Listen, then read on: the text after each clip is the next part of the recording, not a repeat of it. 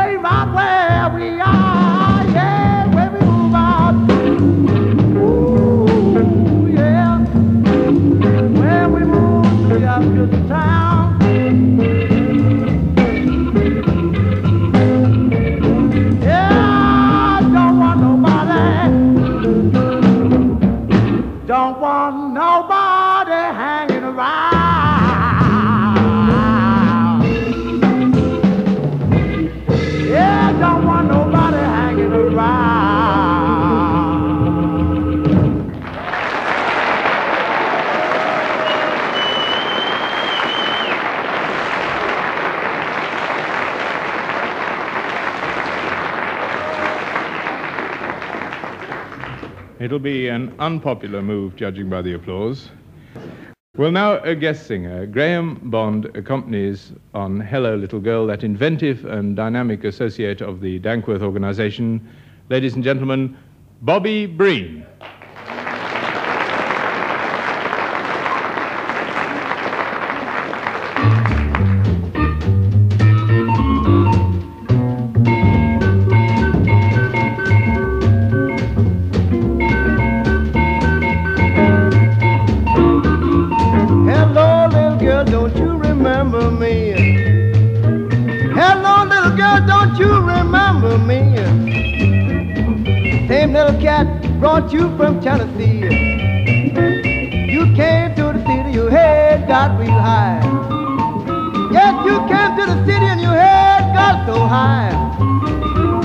I'm the same little cat trying to put you wise.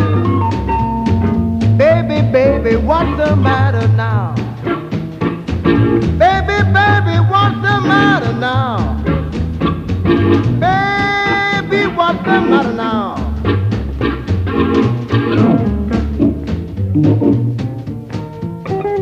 She's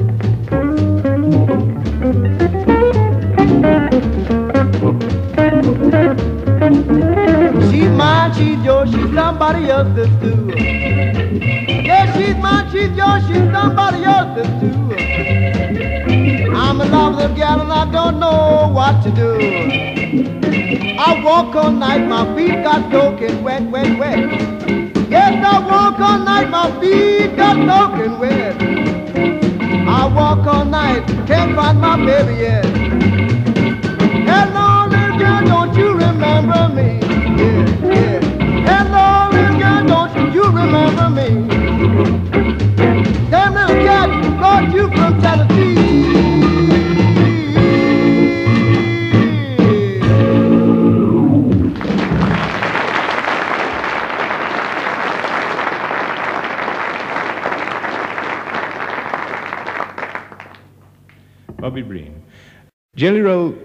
Coined the expression the Spanish tinge to define a particular feeling in jazz music. Graham Bond provides a practical example with his own composition, Spanish Blues.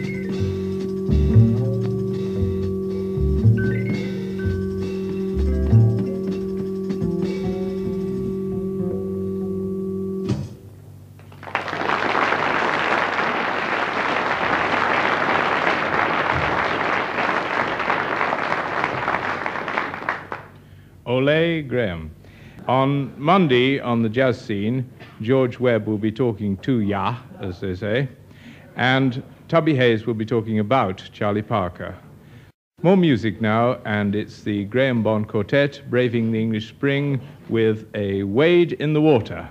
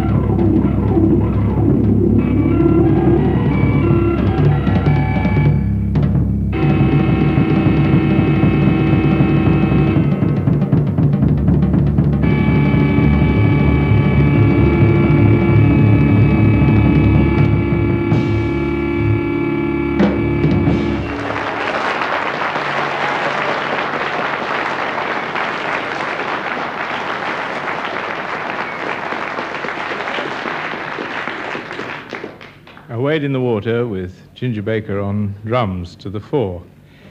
Well, now it's time to reintroduce Bobby Breen. Ladies and gentlemen, Bobby Breen.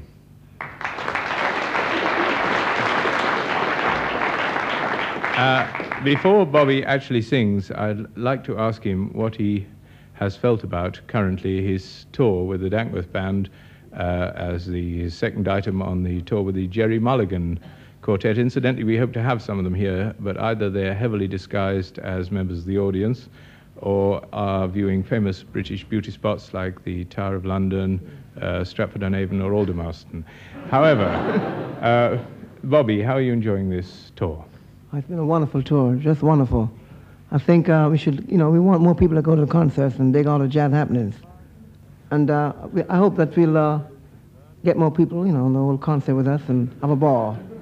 Robert Breen, what are you going to sing now? Well, I'd like to do a little tune. It's called Hallelujah, I Love Her So.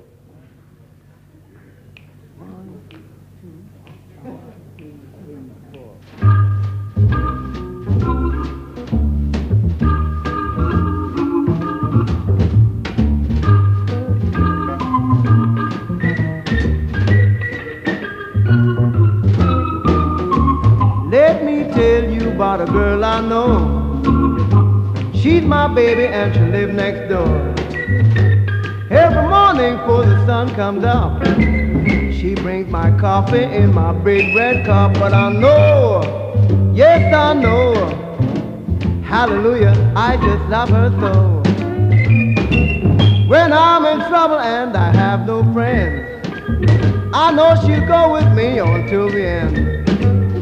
Everybody asks me how I know. I smile and tell them she told me so, but I know, Lord, I know. Hallelujah, I just love her so.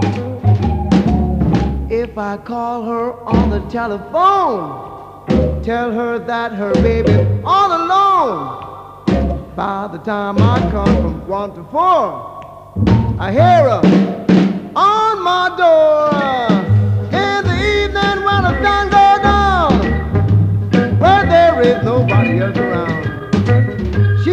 She me, she holds me tight, tells me, baby, everything's alright. But I know, Lord, I know, hallelujah, I just love her so.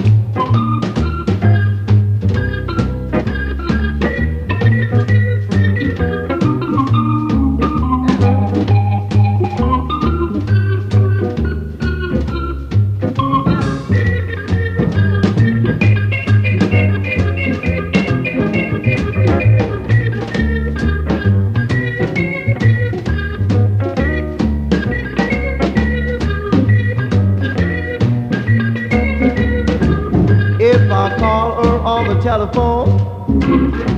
Tell her that her baby's all alone. By the time I come from one to four, I hear her on my door. In the evening when the sun goes down, where there is nobody else around, she kisses me, she holds me tight. Tells me, baby, everything's alright, but I know,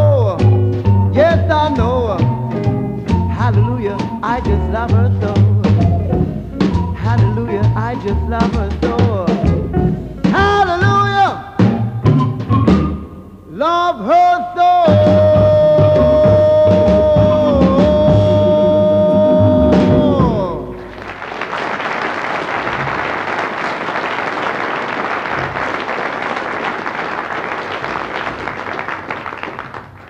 Bobby Breen and Hallelujah. And now, still at the organ, although incidentally he does still play alto, uh, and shouting the truth until it's time for the news summary, Graham Bond and Every Day.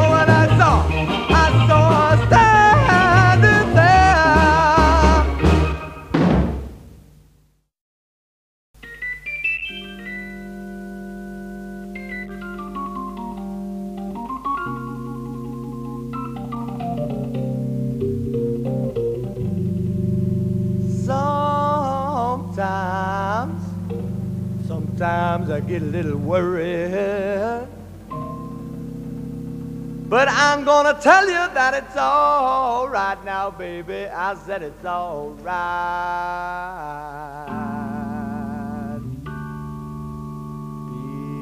Because I got a woman way across town. Oh, she good to me. Oh, yeah. Hey, I got a woman way across town. Oh, she good to me. Whoa.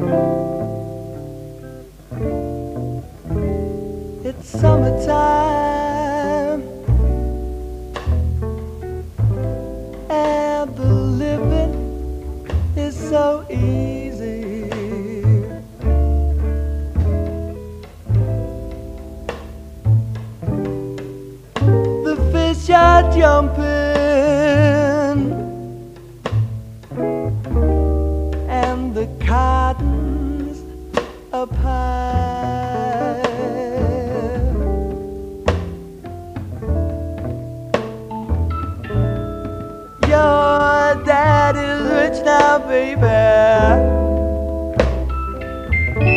And your mom is so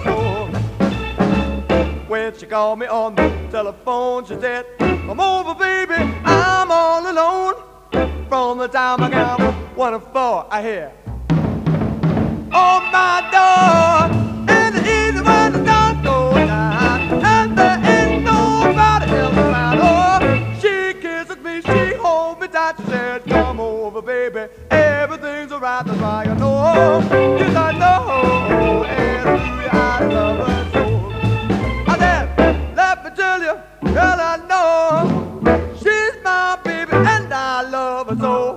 From the time I count one to four, I hear.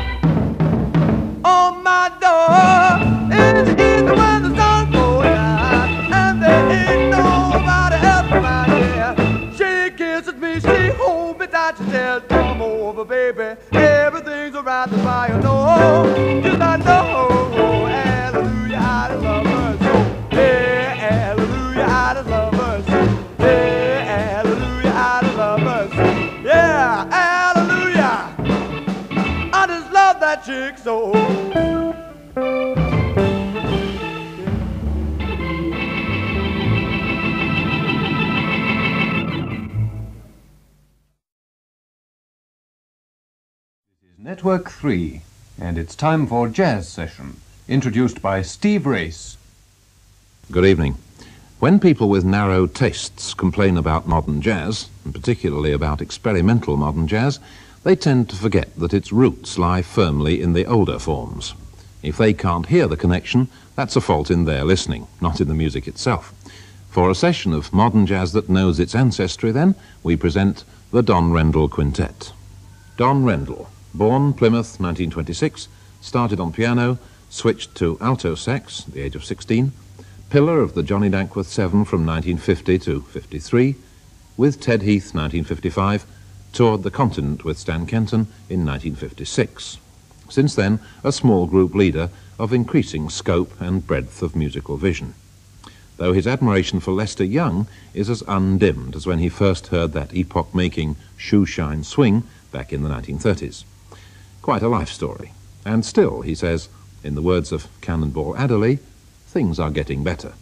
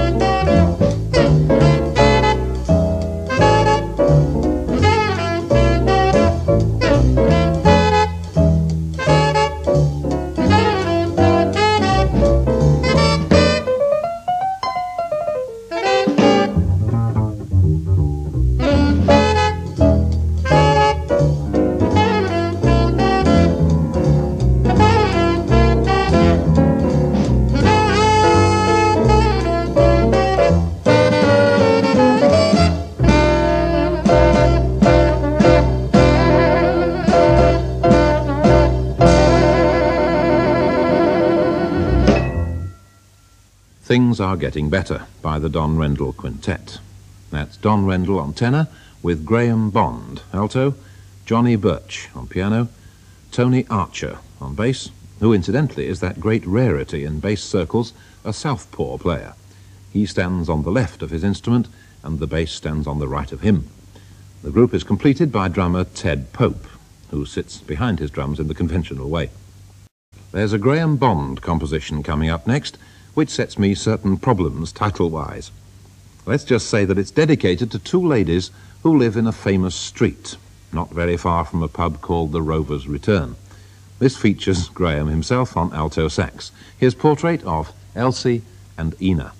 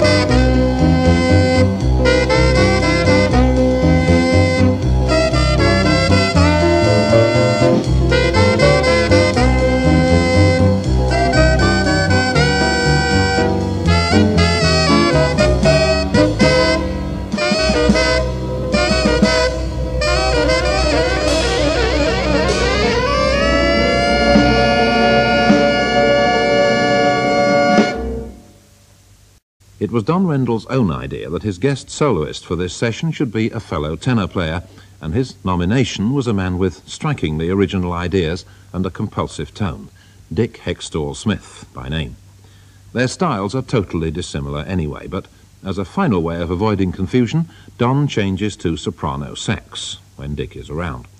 In effect, a soprano is a kind of alto sax shortened with the kinks taken out.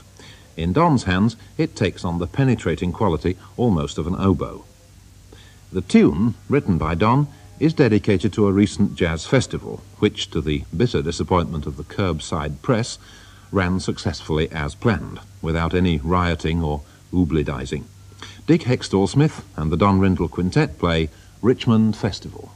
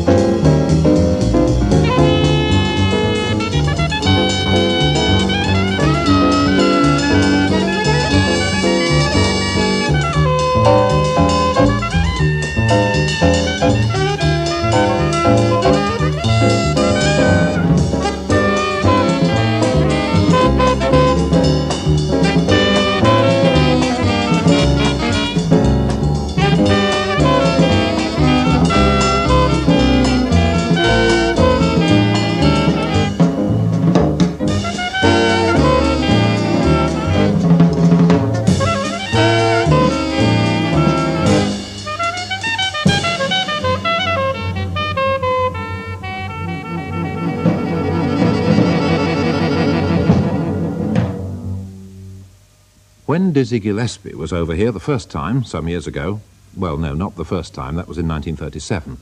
I mean the first time since he became Diz. I interviewed him for the BBC. It was a memorable event for me in every sense, not least because, although the time was nearly two o'clock, Diz hadn't had breakfast. All through the interview, he was cracking raw eggs into black coffee and drinking the resulting brew. Another reason for remembering the interview was that Dizzy spent most of the time talking about his pianist, and very little of it talking about himself. The pianist was Wynton Kelly, and Dizzy was full of praise for him as a composer, as well as for Kelly the pianist. So here is a Wynton Kelly theme, the title Kelly Blue.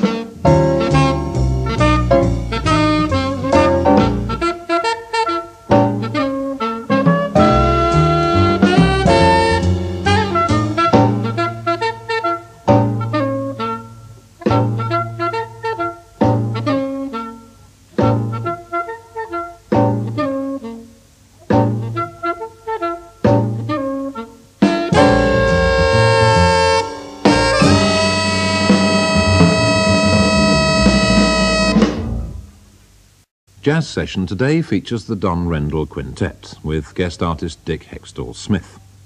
We now feature Johnny Burch, the pianist, as composer. First theme by him, Troika.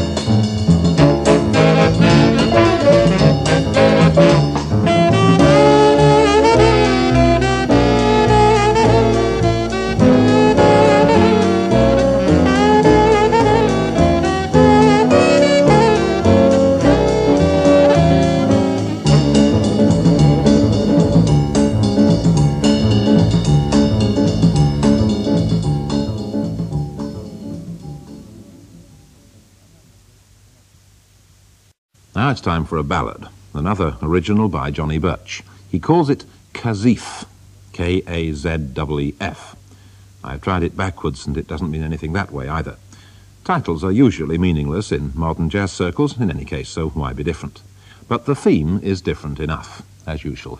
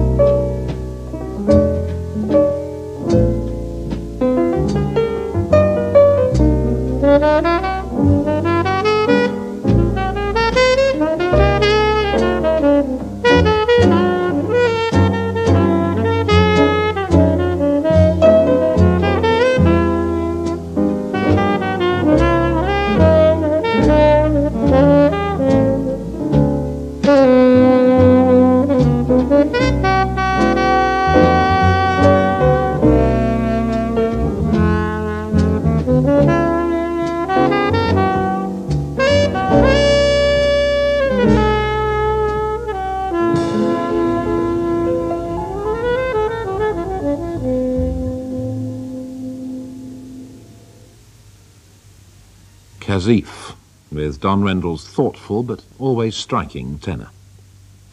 Dick Heckstall-Smith rejoins the quintet at this point for one of Don's compositions, Persian Party. Incidentally, I hope you're enjoying, as I am, the Jimmy Cobb inspired drumming of Ted Pope. Somebody once said that any jazz group is as good as its drummer, and this is a good group. But you know what all good things do. Yes, they come to an end. Persian Party closes tonight's programme by Don Rendell's quintet with Dick Heckstall-Smith as guest soloist. Altogether, another good sign for the confident future of British jazz. Good night.